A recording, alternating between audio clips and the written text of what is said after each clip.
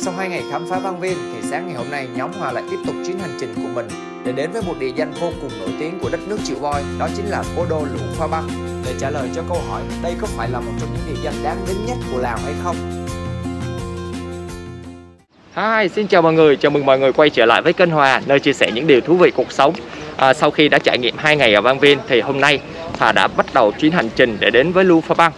Và cái à, phương tiện Hòa đến với Lu Pha Băng lần này đó chính là cái tàu cao tốc của Lào cho mọi người. À, đây có thể nói là một trong những cái tàu cao tốc đầu tiên của Đông Nam Á. À, và để muốn book cái tàu này thì rất là khó vì mọi người không thể book online à, phải thông qua địa, đại lý khách sạn hoặc là chúng ta phải tới train này để mua trước 1 đến 2 ngày nha mọi người rồi bây giờ chúng ta hãy thử trải nghiệm xem cái tàu cao tốc của Lào như thế nào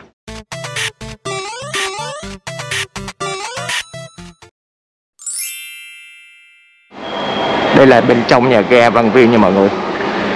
Nói chung là khá là sạch sẽ và cũng khá là rộng lớn. Nhìn y như là một cái phòng chờ của máy bay đó mọi người. À, khi đến với à, tàu này thì mọi người khi mà đi qua thì phải à, kiểm tra hành lý nha. Soi hành lý. Mọi người đi thì phải nhớ mang theo passport và cái vé tàu của mình. À, và check-in thì trước đó cũng khoảng một tiếng nha mọi người. Cơ sở vật chất của cái nhà ga này cũng khá là xịn sò nha mọi người sạch sẽ. Hình như là chắc là do mới. Có phòng clip luôn nè ở đây còn có nước uống để cho mọi người có thể phi vào cái ờ, bình nước của mình mang đi theo này.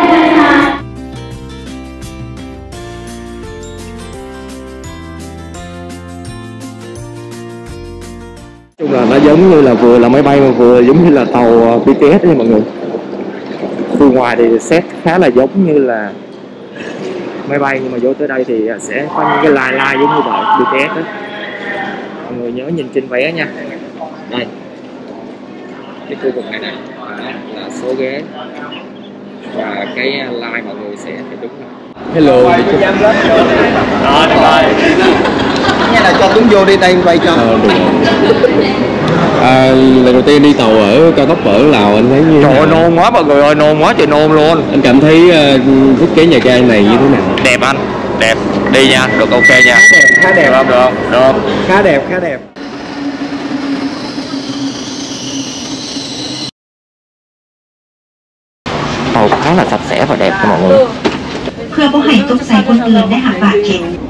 Khá là đúng giờ nha mọi người. Đi một đoạn rồi nhưng mà thật ra tàu này xuất phát là đúng 9 giờ 51 phút.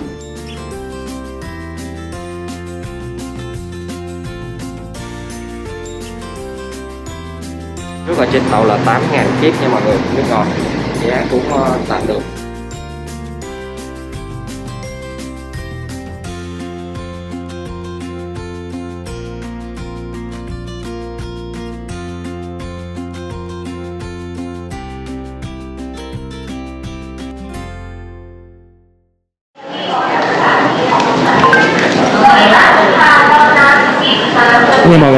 Phải nhớ giữ vé lại nha. Check out thì mọi người cũng phải đi kiểm tra vé lại đó. Đây là nhà ga Lu Pha Băng nha mọi người. Hai tầng. Mọi người xuống nè khu vực này là khu vực boss nè. Khi mọi người ra khỏi à, ga tàu thì mọi người xuống cái, cái tầng à, B này ha. Nơi đây có khá là nhiều cái xe mini bus rồi bây giờ chắc phải đi cái mini bus về với trung tâm à, của Lu Pha Băng thôi. Nơi đây chúng ta có thể xếp hàng rồi đặt dịch vụ nè cũng khá là chỉnh chu nha mọi người. Đó, có một loại xe duy nhất thôi. Đây là giá vé nha mọi người. Nhưng mà cái vé này thì chợ mọi người đến trung tâm thôi. 35.000 kit cho một người. Ở đây thì chúng ta không có taxi riêng đâu nha mọi người. Chỉ có phương tiện duy nhất là cái phương tiện này của cái hãng này thôi. Mọi người cứ đi thì nó sẽ chở mọi người đến trung tâm của luôn Pha Băng luôn.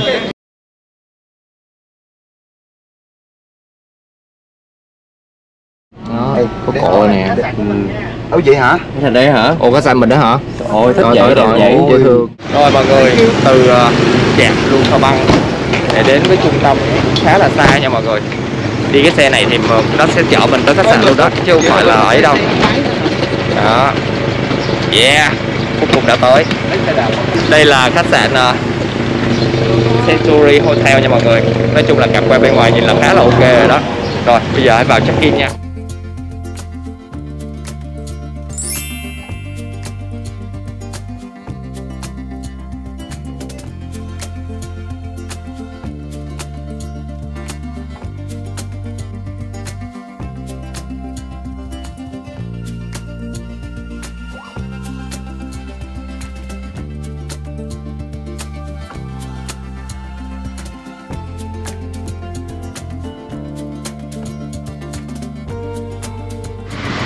phải đổi thêm tiền nha mọi người. Hết tiền Lào rồi.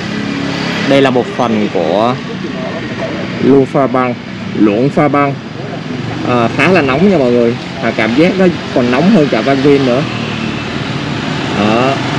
Đây là một cái góc thôi nha mọi người. Rề rề thôi chưa đi vào khu phố cổ. Tí nữa chúng ta sẽ đi vào khu phố cổ nha.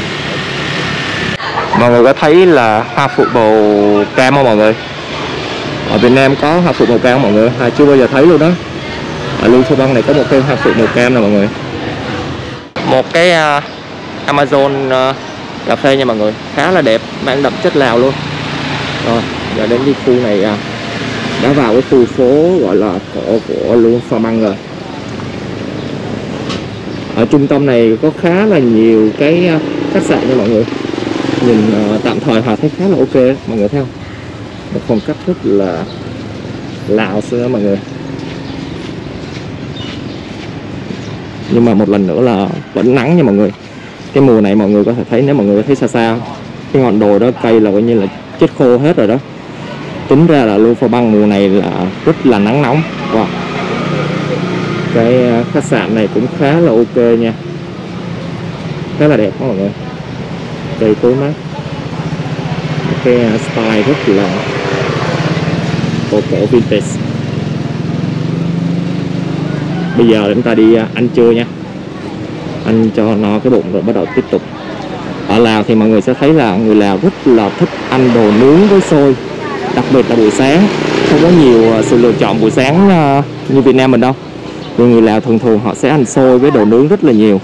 Đây chắc là những ngôi nhà truyền thống của người dân ở Lào nè. Cái dốc này cũng khá là dễ thương, đúng không mọi người? Đây chính là dòng sông Mekong nha mọi người à, dòng sông Mekong sẽ chạy ngang qua thủ đô Luang Pha Băng cố đô Luang Pha Băng mọi người thấy những cái chiếc thuyền dài dài phía dưới không? Đó chính là những chiếc thuyền chọc à, mà du khách có thể đi qua Thái Lan. Nhiều người à, họ thấy là khách Tây đi khá là nhiều. Đi từ đây qua Thái Lan hoặc là Thái Lan qua Lào đi cái thuyền này đi mấy chục tiếng đó mọi người. Đây chắc là một cái bến phà đến thuyền đó mọi người ha. Nhìn cũng khá là ok. Nói chung là dòng sông à, Mekong ở Luang Pha Băng này thì nhìn nhìn nó giống như là sông Hương á mọi người có thấy giống vậy không? Giống như uh, Viên Trăng lần trước.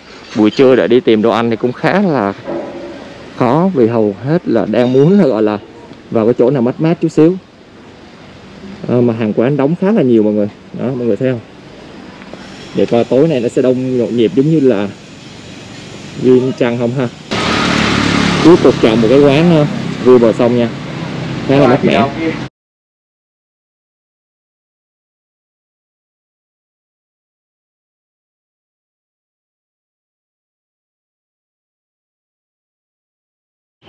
Đây là một cái à, gọi là cái khu rìa của khu phố cổ thôi mọi người. Nhưng mà nhìn khá là dễ thương. Nó là khu rìa thôi nhưng mà thật ra nó là một cái nhánh đường khác của cái khu phố cổ. Mọi người có thể thấy không? Nhưng mà cái cảm nhận quan qua ban đầu của Hòa thì họ rất là thích cái lưu thông văn này nha mọi người. Vì nó rất là hay. Phố cổ thì nhìn nó giống Hội An nhưng mà bờ sông thì nó lại rất là giống Huế. À, đặc biệt nữa là nếu mọi người có đi Ubud của Bali thì mọi người sẽ thấy là nó cũng có một chút chút gì đó u bút nha mọi người.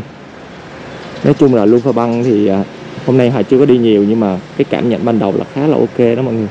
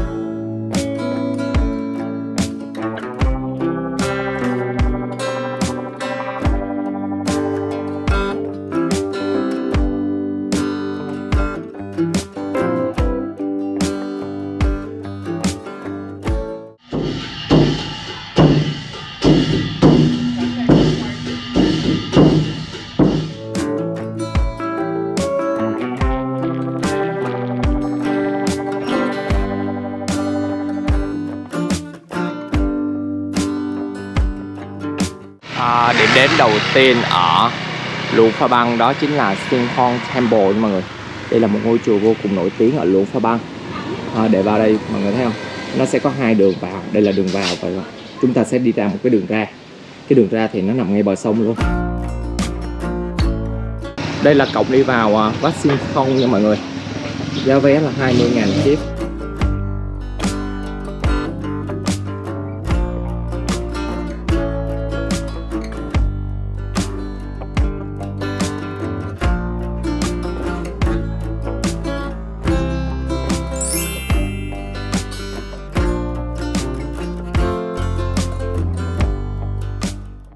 Đây chính là cổ xe được nhà vua Savafong sử dụng năm 1960 được điêu khắc bởi à, những rắn thành Naga.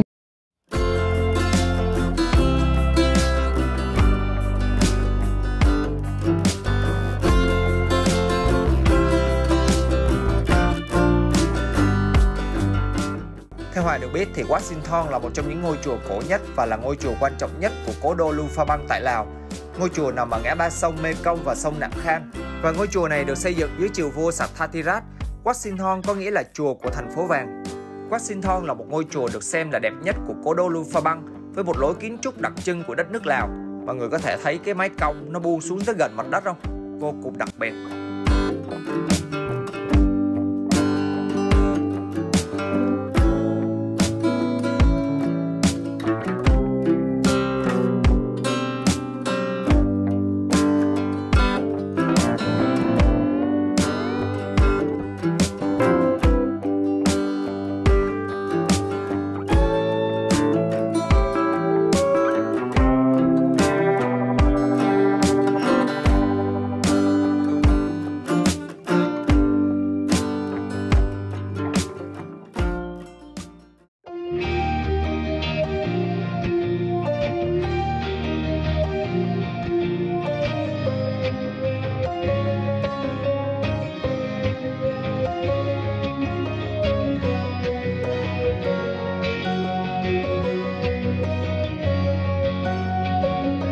Rồi, vậy là chúng ta bắt đầu chuyến hành trình đón hoàng hôn. Đó, với cái à, ngọn núi Bosi ở bên mỗi lần đọc mấy cái tiếng Lào thì họ biết họ đọc đúng không?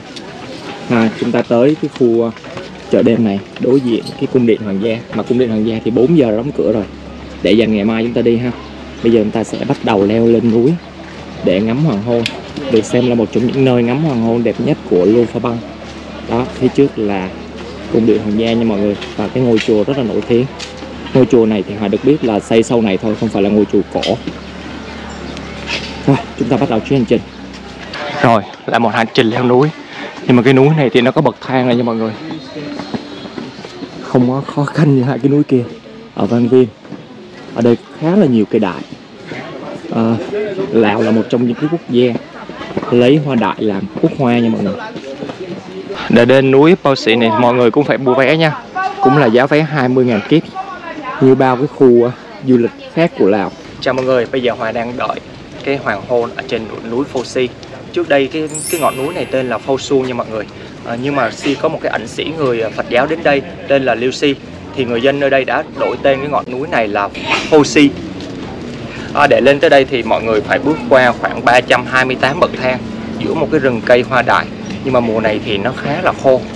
À, không có hoa đâu mọi người. À, nhưng mà nếu mà cái mùa mà có hoa đại thì họ nghĩ là cái đuôi núi này cũng khá là đẹp đó. Bây giờ chúng ta bắt đầu chờ coi ánh hoàng hôn có xứng đáng để cho mọi người có thể xếp hàng ở đây coi không nha.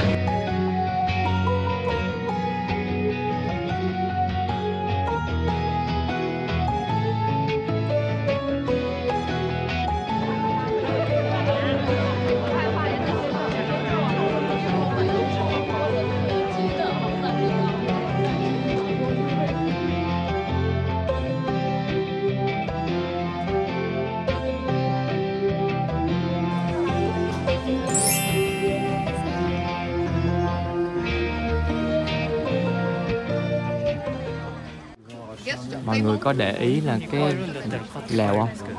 Nó sẽ có ba màu, đó chính là màu đỏ, màu xanh và màu trắng. Đúng như quốc kỳ của lào đó mọi người.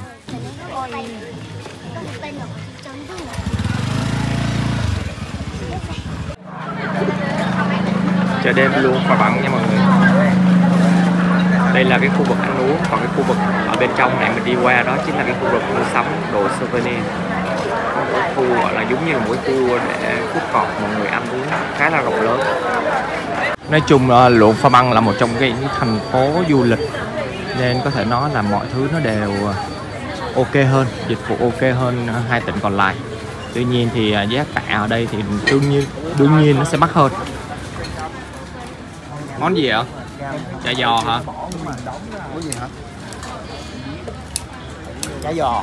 Sao chả giò giống Việt Nam vậy? Thì giống Việt chị chả giò trong Việt Nam là đúng rồi. Đi bon Việt Nam à? Nhưng mà không biết cái vị ở trong thì sao thì không biết. Khác không? Khác chả giò Việt Nam không? Cái vị đó sao à, vị nó rất là chả giò Vị rất Việt Nam Nhưng mà cái nước chấm ngon Nước chấm Chấm ngon. ngon. như là chả giò Vâng. thì vẫn vậy nhưng mà Đúng cái nước rồi. chấm nó khác thôi đúng không Đúng Âm nhân không nhiều bằng Việt Nam Nhưng thì à, giống như là chỉ rau củ quả thôi chứ không Có, phải là tôm thịt Đúng nhiều đâu Không Nhưng mà mà- cũng được nha. Must try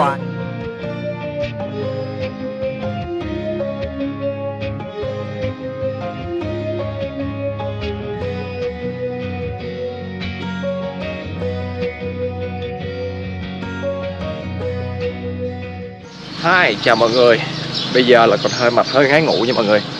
À, Bây giờ là khoảng cỡ 5 giờ hơn. Hòa đang trên đường để đến với một cái sự kiện Gọi là một sự kiện rất là đặc biệt ở Lũ Pha Băng à, Không biết mọi người biết không? Nếu mà mọi người đọc những cái thông tin ở Lũ Pha Băng Mọi người sẽ thấy cái sự kiện này vào mỗi sáng sớm. Đó là sự thích thực của những cái vị sư à, vào sáng sớm. À, Cái sự kiện này diễn ra vào khoảng à, trước khi mặt trời mọc à, người dân của Luông Pha Băng sẽ ngồi đó và sẽ gọi là cúng những cái đồ ăn cho những vị sư ở nơi đây. À, theo Hải được biết thì cái sự kiện này có ở Thái Lan có ở Myanmar. À, nhưng mà đặc biệt là ở Luông Pha Băng thì mọi người sẽ thấy rất là nhiều cái bức ảnh. À, mọi du khách rất là yêu thích cái sự kiện này. À, muốn đi cái sự kiện này thì mọi người thức phải sớm. Rồi mọi người sẽ thấy các thầy tu đi khất thực nha mọi người. Đến giờ rồi. Nhưng mà Hòa thấy là du khách khá là nhiều. Hơi thương mại hóa một chút xíu. À, Nếu mọi người mà có chụp hình quay phim họ nghĩ là nên đứng xa xa một chút xíu.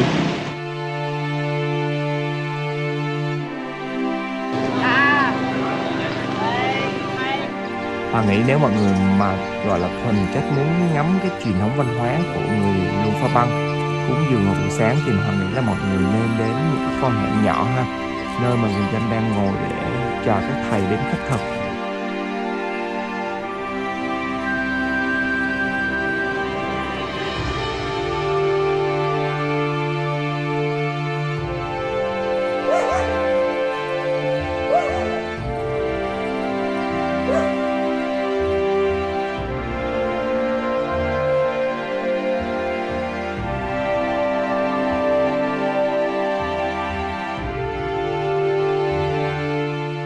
Mọi người ơi, như Hòa đã nói hôm nãy á Thì nếu mà mọi người muốn đi xem các nhà sư khách thực ở Luông Pha Băng á Thì Hòa khuyên là chắc là Hòa nghĩ là mọi người nên đừng có chọn những cái ngôi chùa Vì nơi đó tập trung rất là nhiều du khách à, Và có các dịch vụ đi kèm.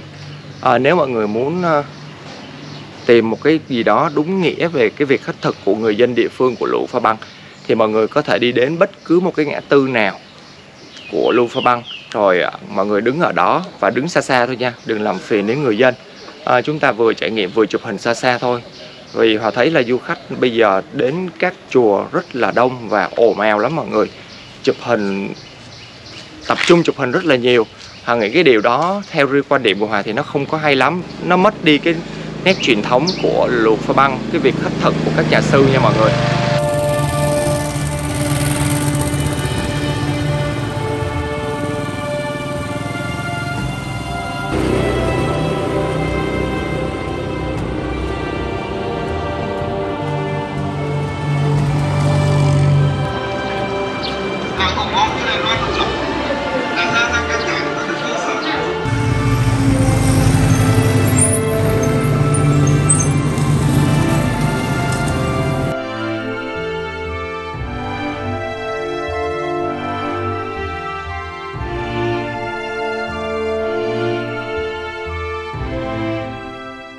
Đây chính là cái khu chợ sáng của Lu Pha Băng nha mọi người.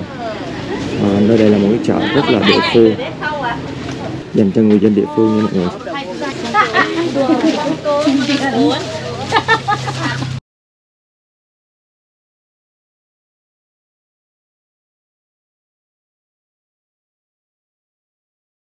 Quay cái này lên thì hơi kỳ nhưng mà thật ra là một cái điều rất là tốt nha mọi người. Mọi người thấy à, hầu như các resort ở luôn Pha Băng sẽ có những cái ờ, thùng rác như vậy mà không sẽ không có cái bao xung quanh nha. Ở trong phòng cũng sẽ như thế. Đây là một hình thức bảo vệ môi trường và cũng không có những cái chai nước ờ, nhựa đâu mọi người. Thay vào đó là những cái chai nước ờ, thủy tinh và được refill lại ở phía ngoài. Họ thấy để làm điều này khá là khó chứ không dễ đâu, nhưng mà đây là một hình thức, gọi là bảo vệ môi trường khá là tốt của người dân Lufa Pha Băng khi làm du lịch.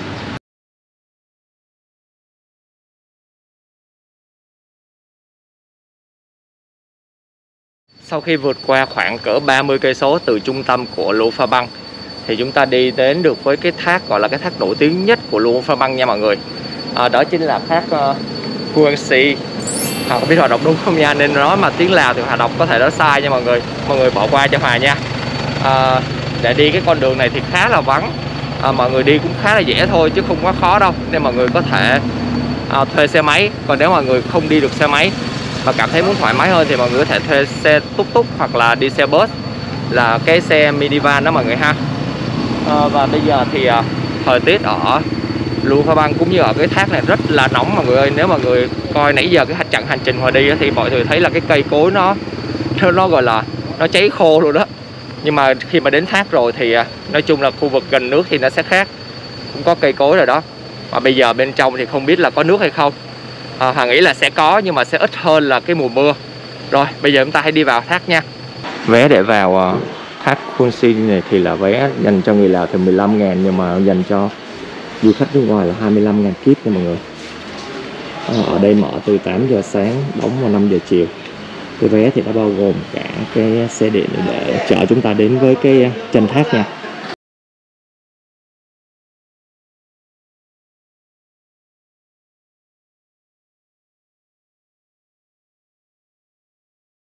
Rồi, sau khi đi xe điện thì uh, chúng ta đã đến với cái uh, nơi mà gọi là chân thác rồi. Bây giờ chúng ta phải đi thêm một quãng nữa để đến thác nha mọi người. Hi, chào mọi người. À, Hoa vừa mới tìm hiểu thì cái tên thác này đọc tên là thác Quang Si nha mọi người. À, và tên tiếng đầy đủ của tiếng Lào là thác Quang Si. Thác có nghĩa là thác, còn Quang có nghĩa là một con nai vàng, còn Si có nghĩa là đào. À, lý do tại sao có cái tên thác này là hồi xưa thì ở nơi đây thì không có cái thác này đâu. Thì có một cái ẩn sĩ khi mà tới đây họ đã ông đã dùng cái gậy của mình và đã đâm xuống đất. Thì từ đó phát uh, sinh ra một cái dòng nước và tạo nên cái ngọn thác này. Sau đó thì người dân ở đây còn phát hiện ra một con nai vàng làm một cái tổ ở ngay cái dòng xác này nữa. Nên mọi người đặt tên cái thác là thác Hoang Si nha mọi người.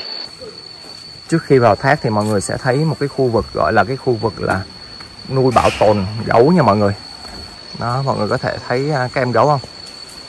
Hình như là các em gấu này là em gấu là bị bắt rồi sau đó được mang tới đây để bảo tồn. Sau khi mà mấy em được à, ok rồi á, thì như là sẽ được thả ra khỏi thiên nhiên đó mọi người.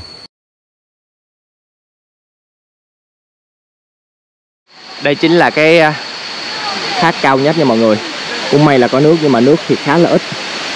Không có nhiều như trong hình đâu nhưng mà chịu thôi đây là mùa khô, thì đã có nước là ok đúng rồi. Đây, ngọn thác trong truyền thuyết.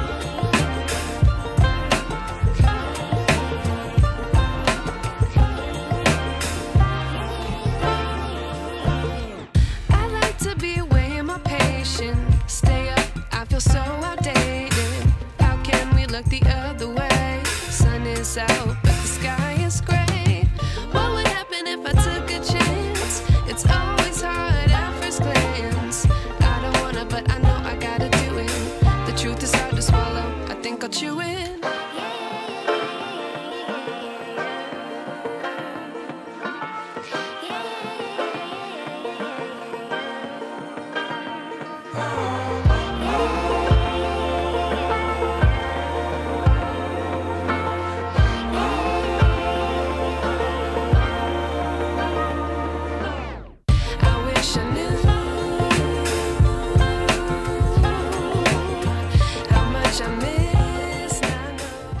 Đây nha mọi người à, được một cái người à, bạn lào giới thiệu thì gần cái thác ờ, uh, quan sĩ.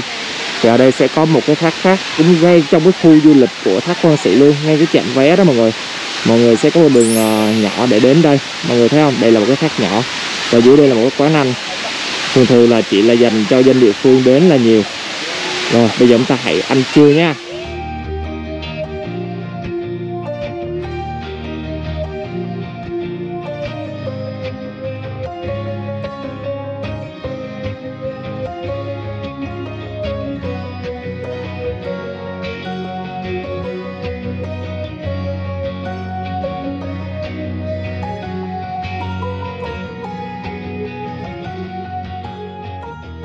Người muốn thưởng thức cái à, nhà hàng này thì mọi người search là thác keo nha mọi người.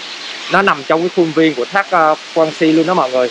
À, Nhưng mà một cái điều lưu ý là nhân viên ở đây hầu như là không biết tiếng Anh. Và menu thì à, cũng đa phần là tiếng Lào đó mọi người. Có menu tiếng Anh nữa nhưng mà cũng khó là để chúng ta gọi lắm. Mình gọi món còn là một cái sự gọi là khó khăn đó. Nhưng mà món ăn ở đây là món ăn Lào truyền thống khá là ok.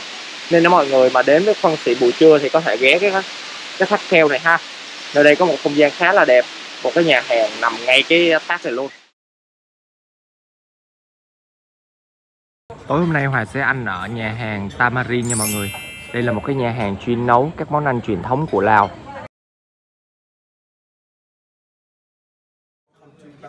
À, nếu mà mọi người đến với Lào thì mọi người sẽ thấy các hương vị của món ăn Lào thì nó có một cái độ tương đồng với lại các món ăn vị của Thái à, nhưng mà nó sẽ cái độ mà chua cay nó sẽ không có nhiều như là Thái nha mọi người. À, món ăn thì tùy theo khẩu vị của mỗi người. Đối với Hòa thì à, món ăn Lào cũng khá là ngon và hợp miệng. Tuy nhiên vì món ăn Lào được khá là mặn nên mọi người khi mà order thì có thể yêu cầu bếp giảm độ mặn lại nha.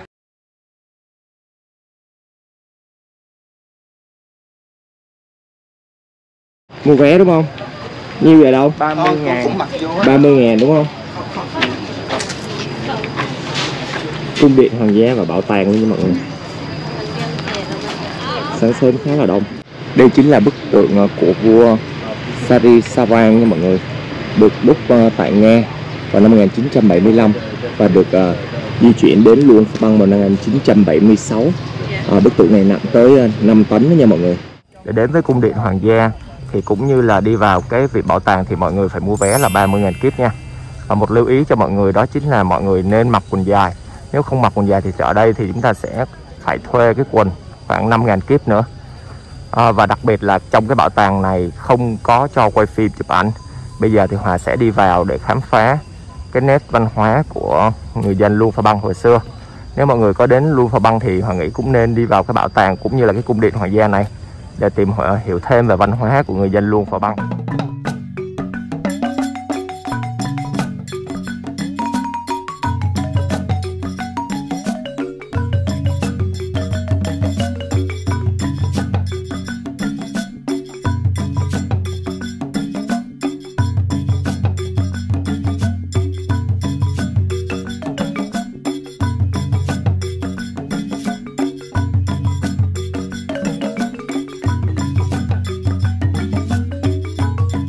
địa điểm cuối cùng Hòa ở tại Lào đó chính là cung điện hoàng gia Luang Pha Băng. À, nếu mọi người mà hỏi Hòa đến ờ, Lào thì ờ, nên đi đâu nhất thì Hòa nghĩ là mọi người nên đến với Luang Pha Băng nha mọi người. Vì nơi đây ngoài cái khu phố cổ tuyệt đẹp thì còn có các công trình kiến trúc hoàng gia rất là ok. À, và đặc biệt là cái thác quan sĩ nha mọi người. À, một cái sự trải nghiệm của một cái thác rất là đẹp. À, nên mọi người không nên bỏ qua khi mà đến Lào đó chính là lụa Pha Băng nha mọi người. Tuy nhiên, một lưu ý cho mọi người là khi mà đến Lào thì mọi người nên đến với các mùa mát, thí dụ như là tháng 10, tháng 11, tháng 12 gì đó thì à, đến với luôn Pha Băng thì nó sẽ rất là ok hơn. Còn đi cái mà mùa 30 tháng 4 này thì nó khá là nóng nắng nha mọi người. Còn bây giờ Hòa sẽ chuẩn bị ra sân bay để bay về Bangkok.